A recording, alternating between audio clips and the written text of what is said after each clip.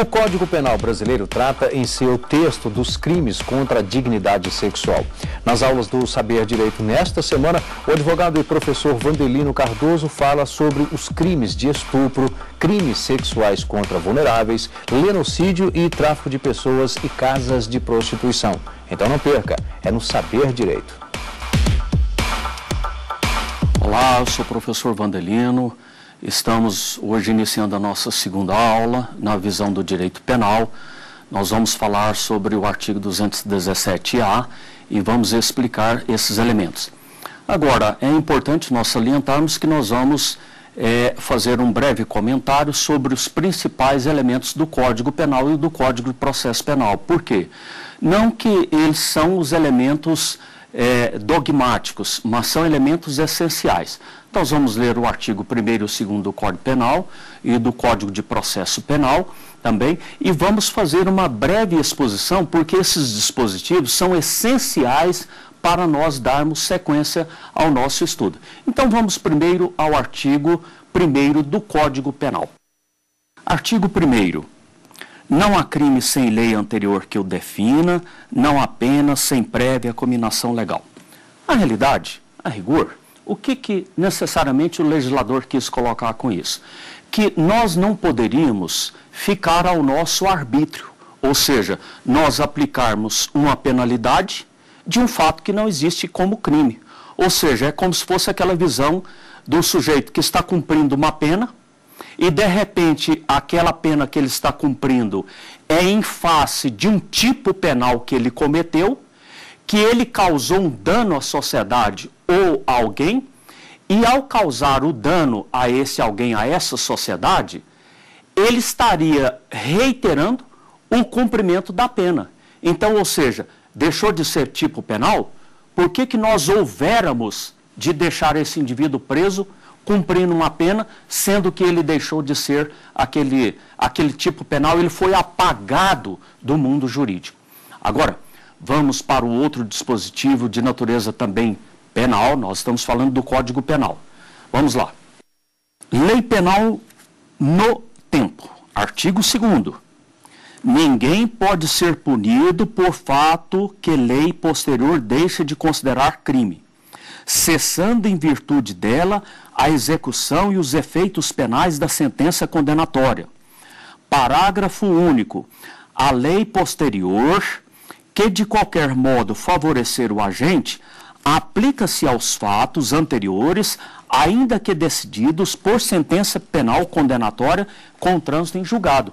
Ou seja, é a colocação que nós fizemos um pouquinho antes da leitura desse dispositivo nós estamos fundamentando com o artigo 2 do Código Penal para demonstrar que aquele fato que deixou de ser crime não não é suscetível, não justifica a continuidade da aplicabilidade da pena corpórea àquele indivíduo. Por quê?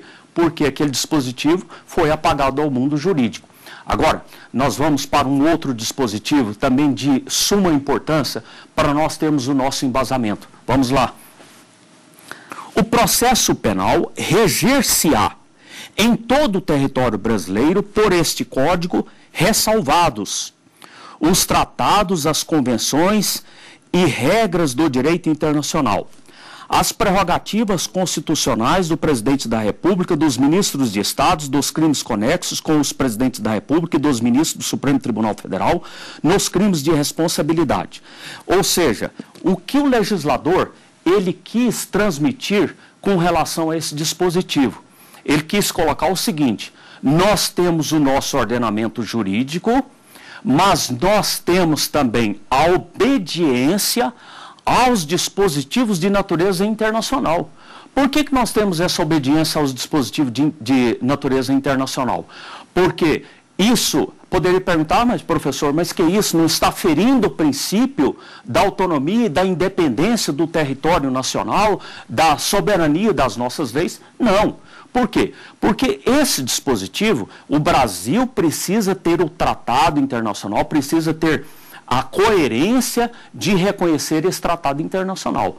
Quando o tratado internacional ele não fere os princípios jurídicos da nossa legislação, necessariamente nós podemos ter essa visão da aplicabilidade do tratado internacional. Por quê? Não feriu a legislação? Não. Não feriu a Constituição? Não. O que, tem a ver, professor, a Constituição com esse elemento de natureza penal? Porque a Constituição da República que nós falamos lex mater, é, o ordenamento jurídico máximo, tudo está subordinado à Constituição Federal. Por quê? O nosso referencial é isso. É para isso que nós temos o nosso guardião da Constituição da República, que é o Supremo Tribunal Federal. Vamos ao artigo 2 do Código de Processo Penal e vamos diretamente depois ao foco da nossa matéria. Então, artigo 2 A lei processual penal aplicar-se-á desde logo sem prejuízo da validade dos atos realizados sob a vigência da lei anterior. E, posteriormente, vamos complementar esse dispositivo com o artigo 3 também do Código de Processo Penal. Cuidado não confundir. Estamos agora falando de matéria processual. Matéria penal nós vamos falar posteriormente. A lei processual penal admitirá interpretação extensiva e aplicação analógica bem como o suplemento dos, dos princípios gerais do direito. Então, ele quis dizer o seguinte, que a lei processual penal, ela aplica-se de imediato. Mas poderia nós falarmos, a lei penal, nós podemos aplicar a lei penal por analogia? Não. Isso é um princípio dogmático. Nós não podemos aplicar a lei penal. O direito penal nós não podemos aplicar por analogia, mas o processo penal podemos aplicar por analogia. E qual a outra característica, professor, desse elemento de natureza processual? É que ela, ela entrou, entrando em vigor, ela já aplica de imediato. Então, ou seja, os atos processuais que nós praticamos, nós temos que anular? Não, ele foi feito na vigência do Código de Processo Penal, na vigência daquele dispositivo. Então, ou seja, a lei processual entrou em vigor outro dispositivo, nós aproveitamos aqueles anteriores, porque senão seria é, um desastre cometimento de uma demora na celeridade processual e teríamos que anular aqueles, todos aqueles elementos? Não, nós temos aproveitado aquele. Então, esses elementos nós vamos mantê-los com o objetivo de dar sequência.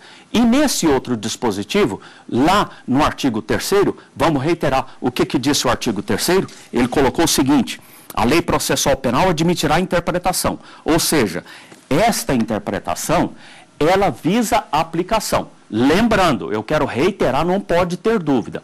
O processo penal admitir-se a aplicabilidade, mas o direito penal não admite-se aplicação. Por quê? Cada caso um caso. Seria perigoso se o legislador fizesse esse dispositivo e de repente nós tivéssemos que aplicar esse dispositivo aqui. Ou seja, teve um caso desse, um caso A, o B cometeu um crime, nós vamos aplicar da mesma forma? Não. Então, o penal admite, mas o direito penal não admite. Agora, vamos ao foco direto da nossa matéria. No capítulo 2, observa bem, estamos falando de direito penal. Dos crimes sexuais contra vulnerável. A sedução, o artigo 217, o que aconteceu com ele? Ele foi revogado pelo artigo, pela Lei 11.106, de 28 de março de 2005. Entramos o quê? No estupro de vulnerável. Vamos ver o que o legislador ele está pensando sobre esse dispositivo do artigo 217. Ter conjunção carnal ou praticar outro ato libidinoso com menor de 14 anos. Reclusão de 8 a 15 anos. Agora, é importante nós colocarmos o seguinte, que esta atividade que o legislador colocou, ele disse o seguinte, presta bem atenção, essa prática de natureza sexual não se resume necessariamente só na penetração do órgão viril masculino ou com o feminino ou de outra forma com relação ao vulnerável. Não. Ele praticando qualquer ato libidinoso. Professor, o que, que são atos libidinosos? Ele pode praticar a atividade da masturbação, é, o sexo oral, o sexo anal, etc. Ou seja, qualquer mecanismo que o autor desse tipo penal que ele pretende violar e buscar objurgar o seu poder na vítima com relação à saciedade carnal ou à, à, à, à saciedade é, de natureza libidinosa, ele está incidindo nesse dispositivo. E quem incide nesse dispositivo, ele está ele tá vinculando as condições daquele tipo previsto lá no artigo 217. Então, olha, é diferente, não vamos confundir necessariamente com a visão do Código Penal, mas nós, nós vamos observar que ele está dizendo o quê? Contra o quem? Contra os, os vulneráveis. Ter conjunção carnal, praticar ato libidinoso com menor de 14 anos. Esse menor de 14 anos na, nessa situação do artigo 217, a reclusão de 8 a 15 anos. No parágrafo 1, ele colocou o seguinte: incorre na pena quem pratica as ações descritas no caput com alguém que, por enfermidade ou deficiência mental, não tem o necessário discernimento para a prática do ato, ou que, por qualquer outra causa, não pode oferecer resistência. Agora, é muito importante nós precisamos de esclarecer esse dispositivo. Por que, que nós precisamos de esclarecer esse dispositivo? Quando ele fala no vulnerável, ele está falando, de qualquer forma, aquela pessoa o quê? que não pode oferecer resistência com relação à insurgida ao fato. Vamos reiterar esse dispositivo para ficar bem prático e nós voltamos a explicar.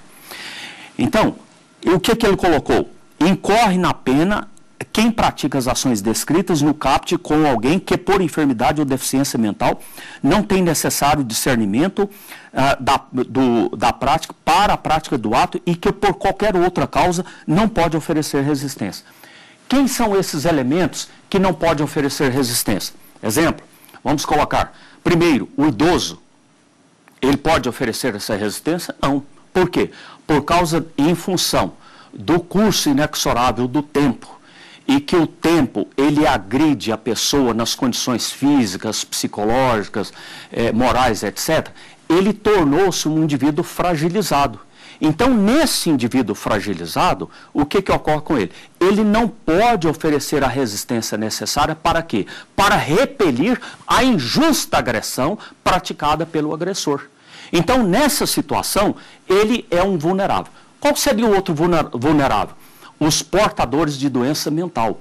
Quem são esses portadores de doença mental? Por exemplo, a esquizofrenia, a uma outra doença é, de caráter intenso, ou mesmo que o indivíduo não é idoso, mas ele está portador do mal de Alzheimer, é, é, ou qualquer outra doença que incapacite ele, tanto fisicamente quanto mentalmente e mesmo porque aqueles que têm os, outros transtornos de natureza mental. Vamos analisar quais seriam esses transtornos de natureza mental. Professor, quais seriam esses? Os esquizofrênicos, os oligofrênicos, ou seja, a pessoa que nasceu com o cérebro menor do que o normal, ela tem uma idade, ela passa pela idade cronológica, mas o cérebro continua aquele instrumento de pessoa na idade terra. Ou seja, desenvolve fisicamente, mas o cérebro não acompanha o desenvolvimento cronológico do tempo. Por quê? Porque ele nasceu com o cérebro menor do que o normal. Então, esse indivíduo, por exemplo,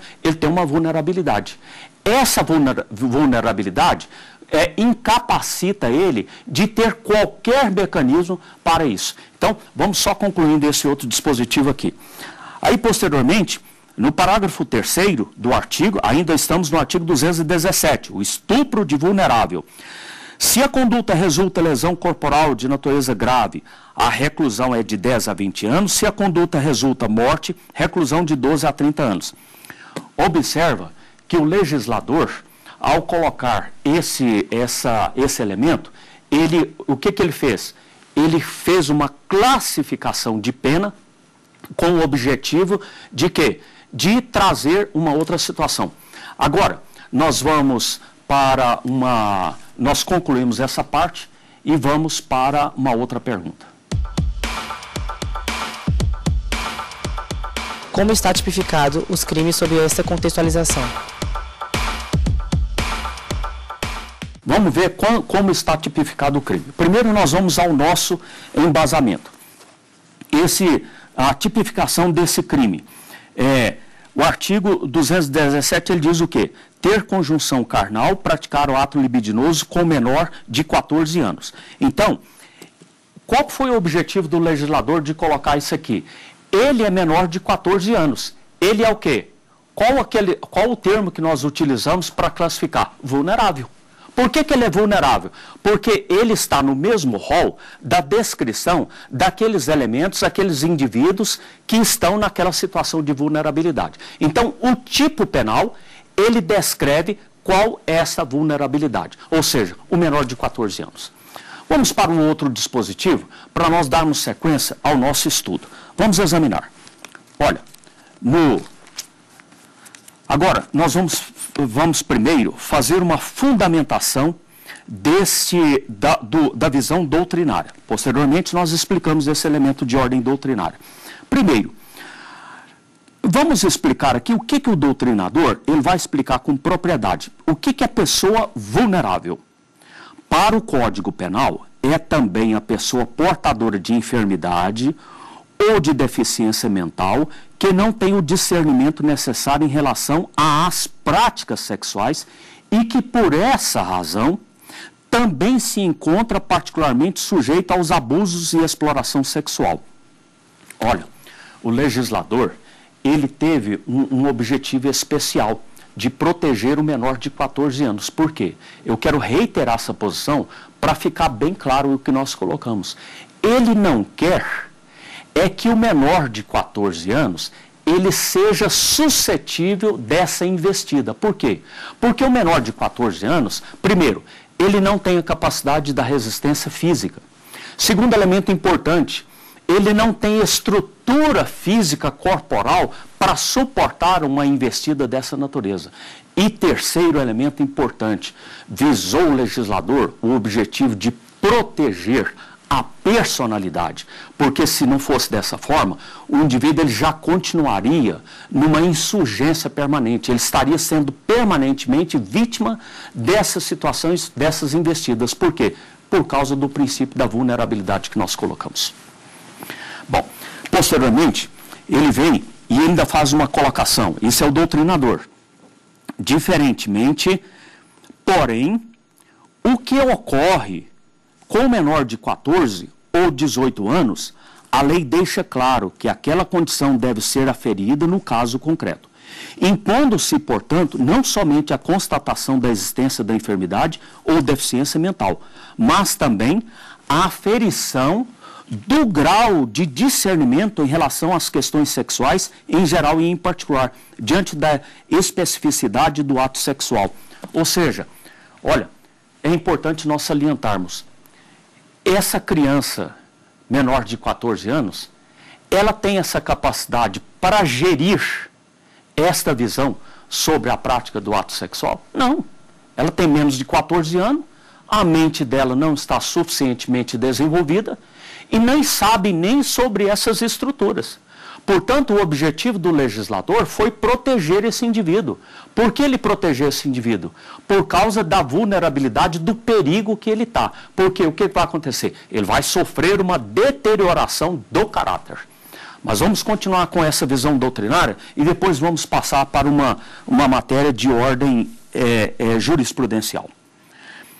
Quem são sujeito passivo? Da conduta descrita no caput do artigo 217-A, é o menor de 14 anos. Se ele já completou 14 anos, o que se verifica no primeiro instante do dia do seu aniversário? Pode-se configurar, eventualmente, outro delito. Violação sexual mediante fraude, estupro, de existência ou violação a, a grave ameaça. Posteriormente, o doutrinador coloca um outro elemento de importância extremamente é, delicada com relação a isso.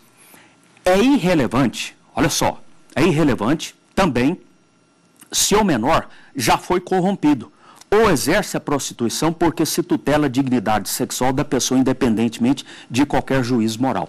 Olha, isso aqui é muito importante nós colocarmos. Por quê? Porque quando o, legislador, ele quis dizer, o doutrinador, ele quis dizer o seguinte, olha, se o indivíduo, ele praticou ele já teve um outro.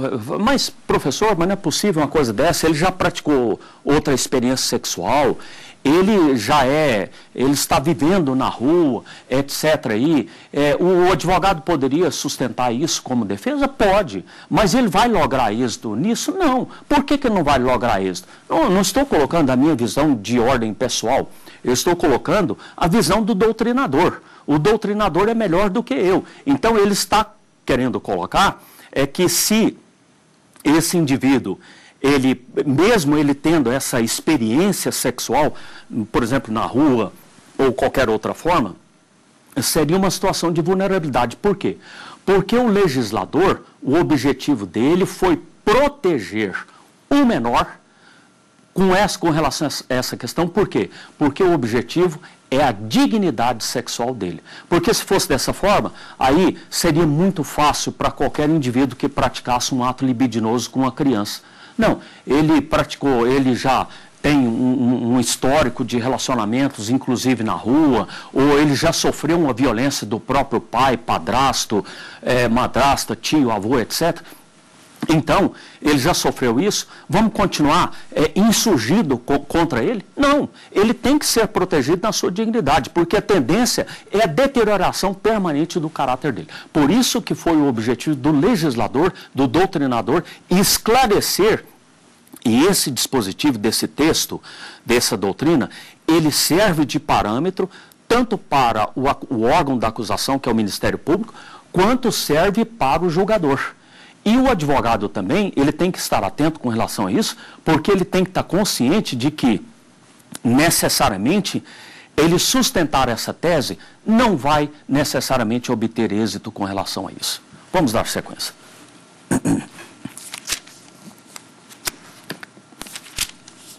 Olha, agora eu quero transmitir a, aos nossos estudantes e a todas as pessoas que nos assistem é, o, o que o STJ, ou seja, o que o Superior Tribunal de Justiça está pensando sobre essa questão.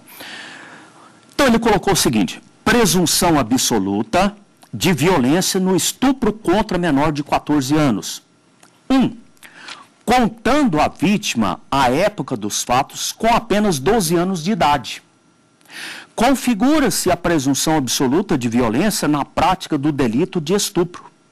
A alegação do agente de desconhecer a idade da vítima e acreditar ter ela 15 anos de idade na época dos fatos não elide o tipo penal, uma vez que o paciente a conhecia há mais de um ano e tinha proximidade com a família. Ou seja, esse caso aqui foi uma situação em que o Superior Tribunal de Justiça julgou.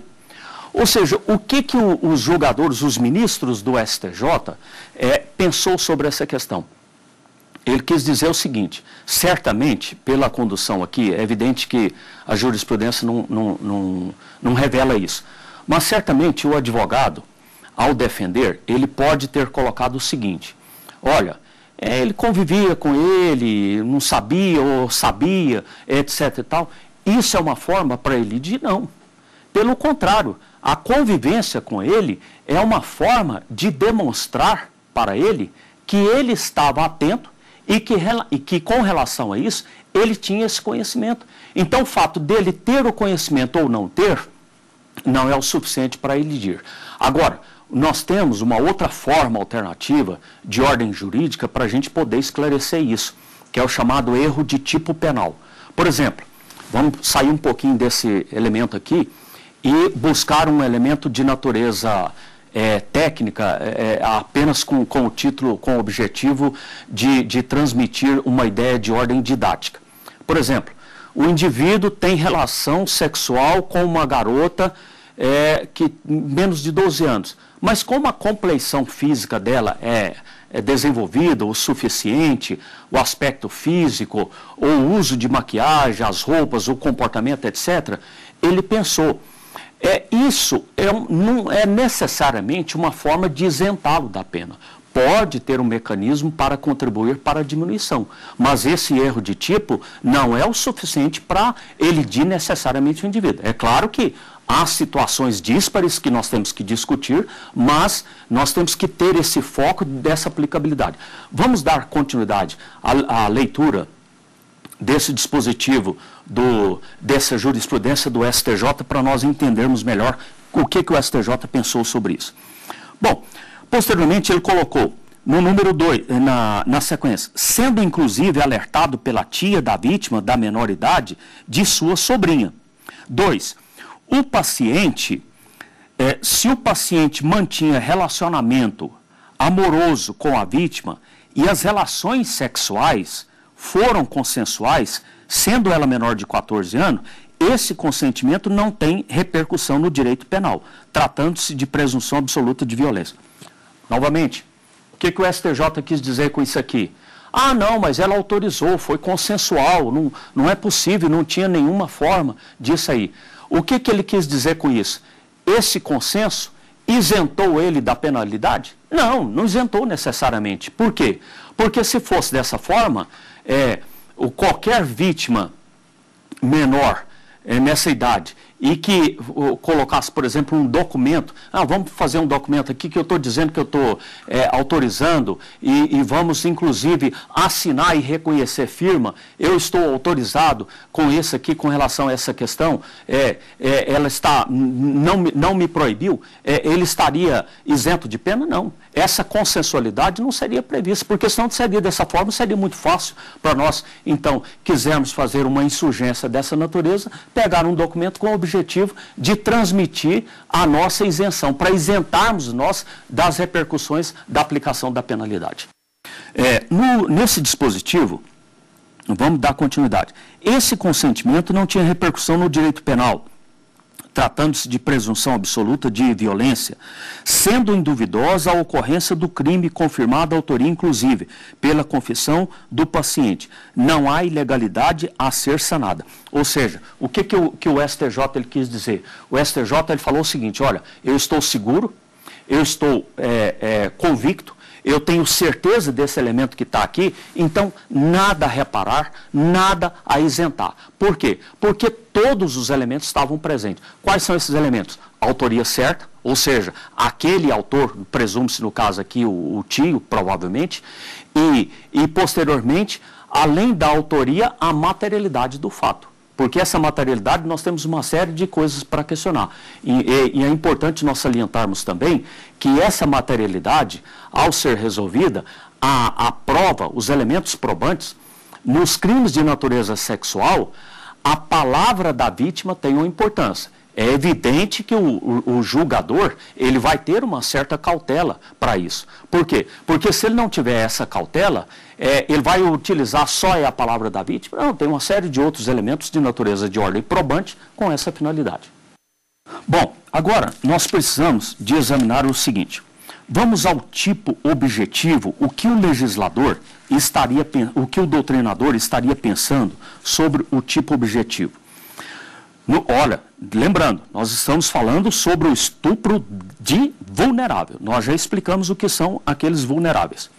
No estupro de vulnerável, a conduta típica é de ter conjunção carnal ou praticar outro ato libidinoso com menor de 14 anos. Ou com pessoa vulnerável, termos do parágrafo 1 diretamente do que ocorre nos crimes de estupro, artigo 213, a violência sexual mediante fraude. Olha, Nessa visão aqui, nessa conduta típica, o que, que está, é, qual que é a pretensão do legislador? Proteger aquele menor ou aquele indivíduo que é o quê? Vulnerável. Essa vulnerabilidade é o objeto principal. É diferente daquele elemento que nós colocamos que o legislador tem lá no artigo 213 do Código Penal. O objetivo é o quê? É proteger essa vulnerabilidade em relação aos 14 anos. Ou seja, esse menor. Por quê? Porque essa, é, é, essa finalidade é evitar aquilo que nós sempre reiteramos, é a deterioração do caráter do indivíduo. Ora, nós temos um outro elemento doutrinário que eu tive caprichosamente o cuidado de separar para nós é, colocarmos. Embora difícil a discriminação das hipóteses abrangidas pelo dispositivo, é ela necessária inclusive porque previstas penas bem mais severas para o estupro de vulnerável. Um critério possível é o de se considerar a impossibilidade de resistência a que se refere o dispositivo como aquela que torna dispensável. Embora possa ocorrer um emprego de violência ou grave ameaça ou fraude pelo agente para a consumação do delito, por já encontrar a vítima em situação de vulnerabilidade que impede de forma absoluta resistir ao estupro. Olha, tem um outro, um outro elemento importante que nós temos que ressaltar aqui. Quando o indivíduo ele está falando sobre essa questão da vulnerabilidade, ele está enfatizando a importância do quê? de, da, desta preservação. Essa preservação, ele tem o objetivo principal de manter esse equilíbrio, esse controle. Por quê? Porque senão ele seria vítima. Ele seria vítima dessa situação com o objetivo de quê? De evitar esse dano maior. Agora, nós é, concluímos essa parte, vamos para a segunda pergunta.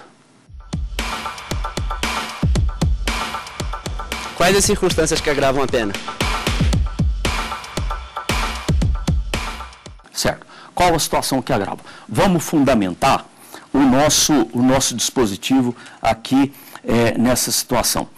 É, no artigo 217A, parágrafo 3 vamos aqui, 217A, parágrafo 3 Situações que agravam. Se a conduta re resulta em lesão corporal de natureza grave. Olha, ele tem uma pena de reclusão de 10 a 20 anos. No parágrafo 4 ele coloca se a conduta resulta de morte. Então, qual que é a situação que vai agravar? As duas situações. Da, do que? Da lesão e da morte. Por que, que vai agravar? Porque além do indivíduo ter sido vítima de um crime de ordem sexual, de ter objurgado ao poder é, ao poder macabro daquele indivíduo que pratica uma investida sem necessidade, é, sem justificativa, usando dos mecanismos da violência ou da força bruta, o que, que ele quis transmitir com isso aqui? Se resultar na lesão corporal e na morte. São situações o quê? Que agrava a pena. Ou seja, a aplicação da pena vai incidir sobre aquela questão. Agora, já que nós estamos falando em pena, vamos, ao, vamos retornar ao nosso embasamento legal. Como que, qual que é o mecanismo que nós temos para aplicabilidade da pena? Vamos ao artigo 59. Nós estamos falando da aplicação da pena. Nós estamos no capítulo 3 do Código Penal. Fixação da pena, artigo 59. O juiz, atendendo à culpabilidade, aos antecedentes, à conduta social, só vamos explicar aqui o que, que é esse antecedente. O, a, a vida pregressa do indivíduo. Esses são os antecedentes. A conduta social. Como foi que esse indivíduo agiu para poder ter essa incidência? A personalidade do agente. Essa personalidade do agente, ele está dizendo o quê? A, o que tipo de personalidade que ele tem com relação à agressividade, a, a vulnerabilidade com relação a isso. Aí ele vem posteriormente e coloca assim, ó, aos motivos, às circunstâncias, a consequência do crime e bem como o comportamento da vítima. O que, que ele quis dizer com o comportamento da vítima? A vítima criou um mecanismo, criou formas, a vítima provocou, a vítima é, é, estabeleceu normas é, de sensualidade para provocar isso, não estou falando dessa isenção de pena, mas eu estou falando de uma situação que infringe esse dispositivo. Ou seja, o julgador, para aplicabilidade, para a dosimetria da pena, ele tem que buscar a inteligência do artigo 59. Vamos concluir, tá, vítima? Estabelecerá, conforme seja necessário e suficiente para a reprovação e prevenção do crime o inciso 1, as penas aplicáveis dentro das combinadas, a quantidade de pena. Então, ou seja, a reprovação do crime, a prevenção do crime e a, a dosimetria são elementos de acordo com a repercussão que houve o fato. Ou seja, ele incidiu naquela situação, nós vamos, nós vamos utilizar a dosimetria, nós vamos utilizar esse comportamento, nós vamos utilizar a conduta do indivíduo, o aspecto social, as características e a forma com que foi tratada. Pra, para quê?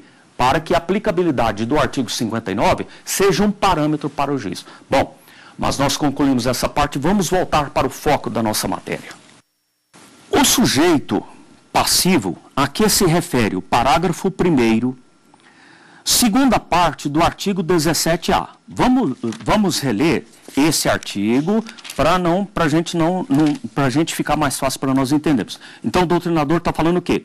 O sujeito passivo, que se refere o parágrafo 1 da segunda parte do artigo 17A. O que, o que, que é esse dispositivo? Parágrafo 1 Qual que é a segunda parte? Praticar outro ato libidinoso com menor de 14 anos.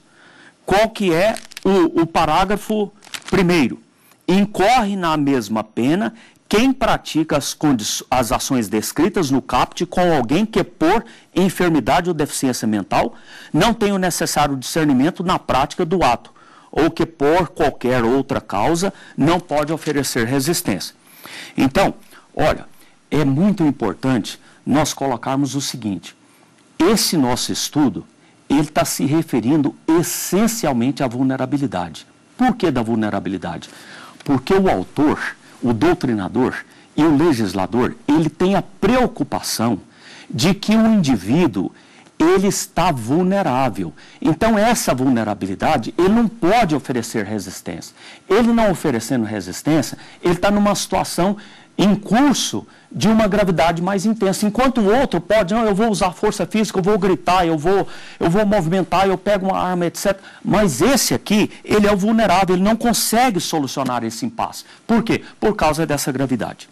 Então, Enquanto nessas outras hipóteses, a lei confere especial proteção às pessoas que, em razão das citadas causas preexistentes, não podem validamente consentir na prática do ato sexual. Olha, tem um outro elemento importante aqui que eu quero transmitir para vocês. O que, vamos ver, o que o Tribunal de Justiça de São Paulo é, está pensando com relação à, à vítima adormecida. Então, vítima adormecida. E isso nós estamos falando agora de um julgado jurisprudencial de fato que ocorreu no Tribunal de Justiça de São Paulo. O que, que ele colocou? Vítima adormecida, crime caracterizado. Atentado violento ao pudor, tentativa, violência presumida, vítima que se encontra dormindo, impossibilidade de oferecer resistência. Artigo 224, C do Código Penal Recurso provido não há por qualquer excluir o sono das hipóteses que ensejam a presunção da violência de modo peremptório, porquanto existem situações em que ele pode ensejar a prática de ato sexual sem que a vítima desperte assim possa oferecer resistência. Olha, nós falamos quem são aquelas vítimas vulneráveis, que são aqueles doentes mentais, os idosos, é, a a violência presumida ao menor de 12 anos, etc. E tal. Então, nesse caso aqui, é um tema específico. Ele estava dormindo. Ela, a vítima estava dormindo. Poderia oferecer resistência? Não. Certamente, às vezes até esse indivíduo poderia ter utilizado algum outro mecanismo de sonífero para isso.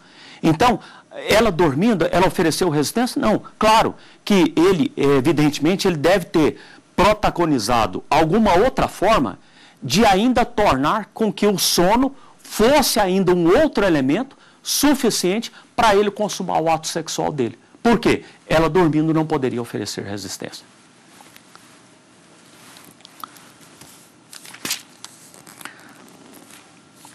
Olha, vamos ver aqui uma outra decisão importante do Superior Tribunal de Justiça.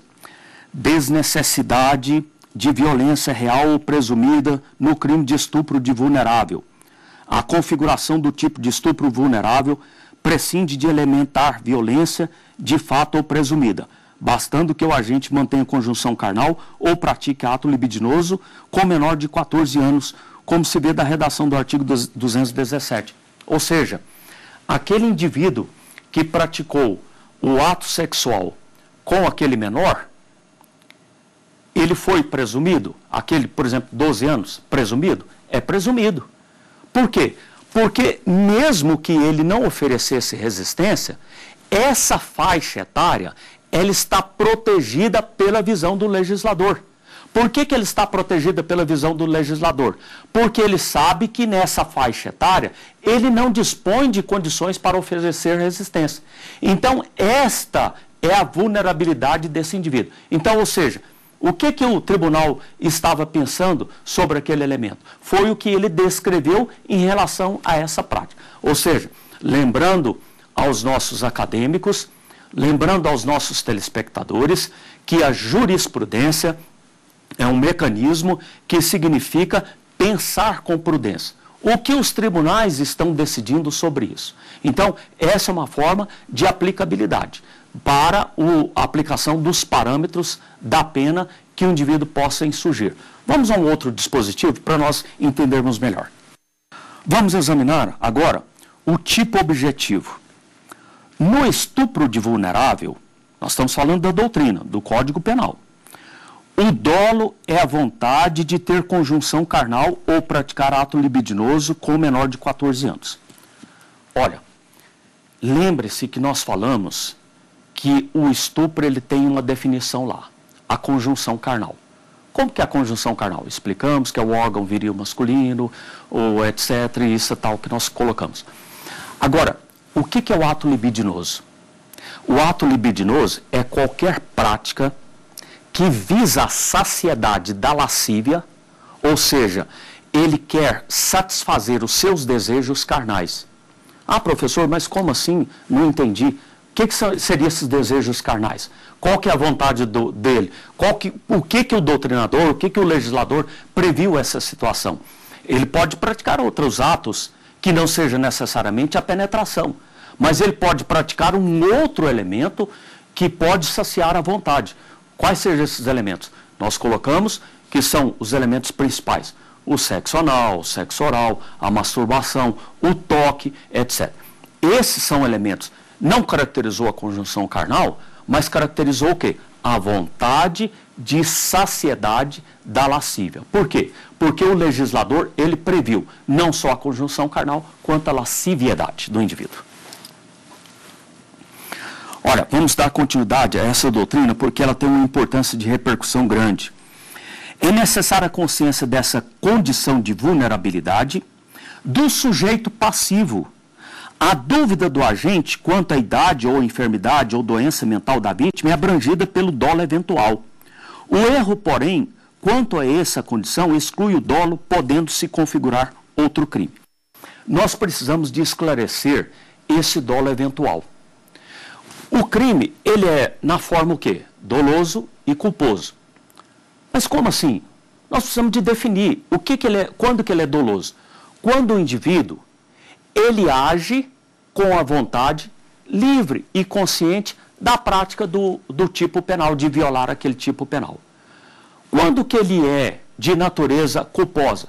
Quando há negligência, imprudência e imperícia. Agora, observa bem, o nosso doutrinador, o nosso comentarista dessa visão do Código Penal, ele colocou o quê? O dolo eventual. O que é o dolo eventual? Vamos citar um exemplo mais fácil para a gente entender. Esse dolo eventual, ele não quis necessariamente que desse aquele resultado, mas ele assumiu esse resultado aí. Esse dolo, por exemplo, ele tinha, nesse caso específico nosso, ele tinha consciência da situação?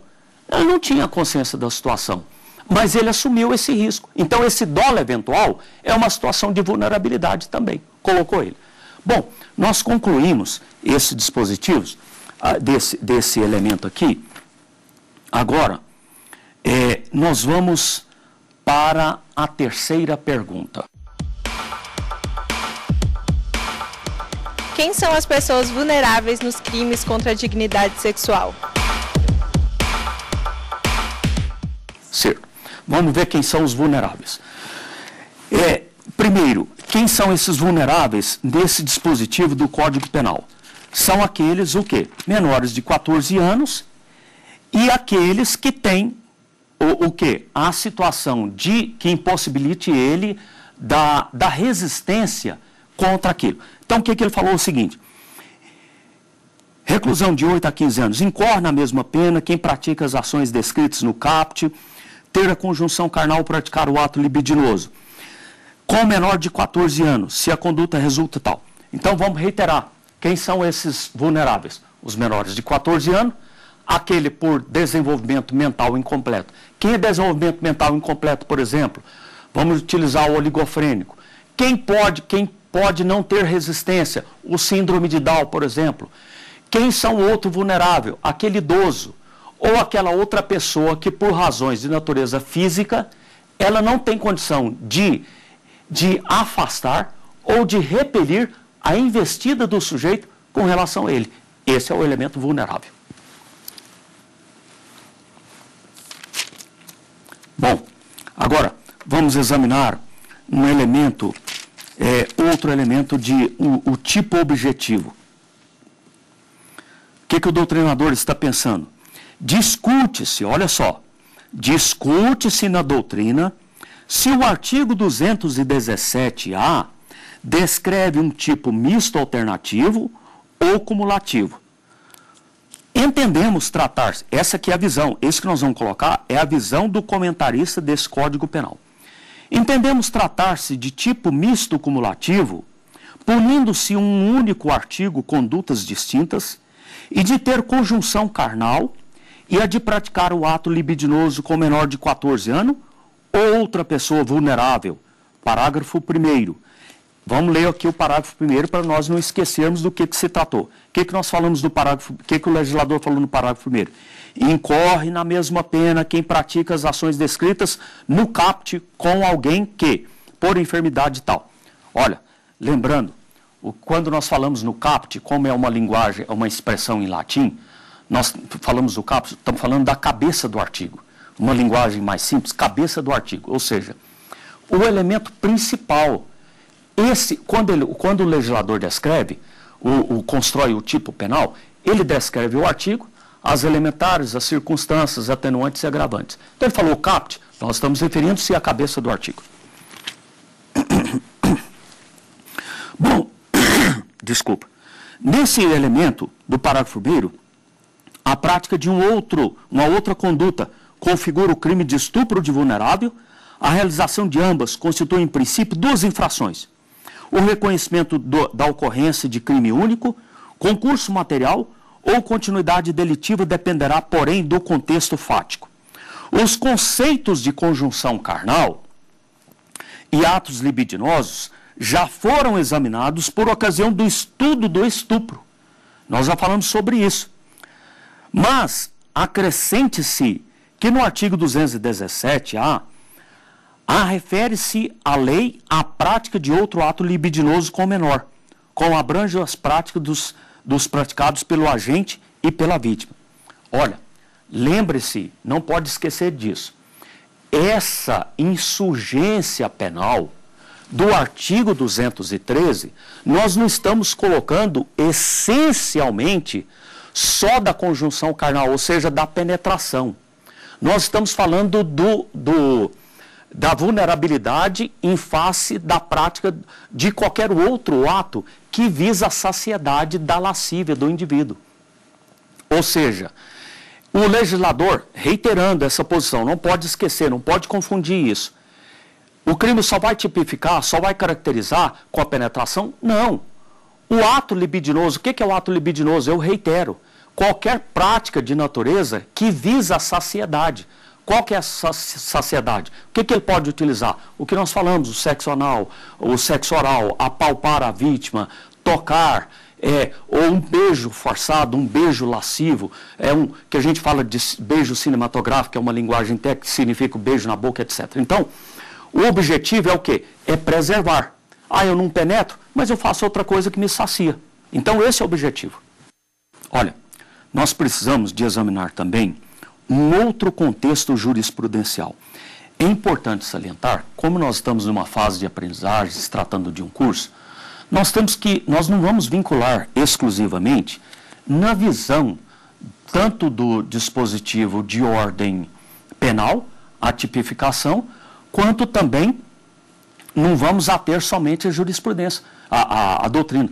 Nós temos que pensar, nós temos que ver o que os tribunais estão pensando sobre essa prática desse ato. Ou seja, aquele elemento, elemento de ordem jurisprudencial. Para isso, vamos ver o que, que o Superior Tribunal de Justiça está pensando. Desnecessidade de violência real ou presumida no crime de estupro de vulnerável. Reiterando essa posição, vamos, esse, vamos um outro elemento aqui. A inexistência de abolitio crimes na revogação do artigo 224. Olha, ele está querendo dizer o seguinte: é essa expressão abolitio crimes é uma expressão em latim da abolição daquele tipo penal. Então vamos ver o que ele está pensando sobre isso. Vamos fazer uma rápida colocação.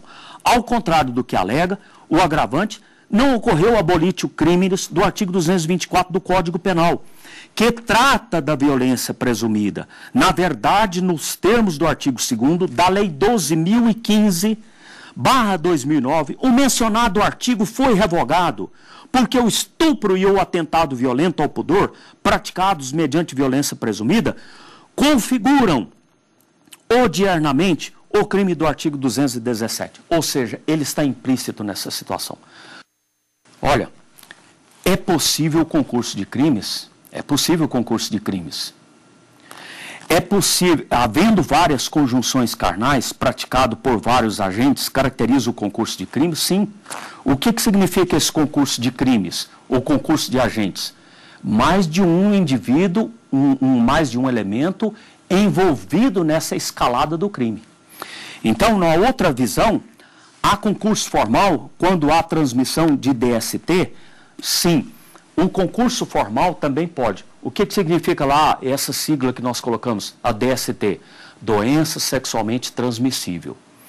Se o indivíduo ele sabia que ele era portador de uma doença venérea, ou seja, qualquer tipo de DST, doença sexualmente transmissível, e ele utilizando desse meio nessa prática, pode suscitar uma situação de maior gravidade? Pode.